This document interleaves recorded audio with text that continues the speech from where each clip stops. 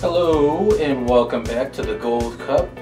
We're here with match three, game one between the Sunburnt Geckos and Fire Clouds.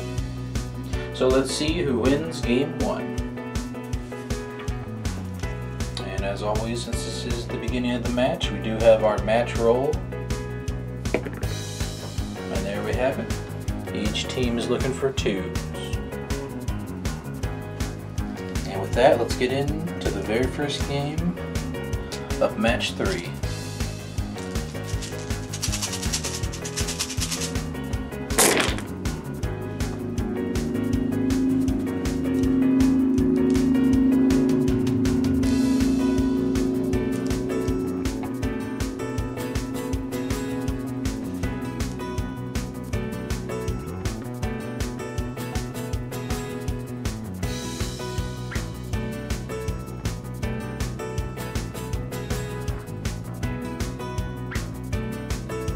And there we have it. The Fire Clouds have taken game one with four twos to the Sunburnt Geckos one two.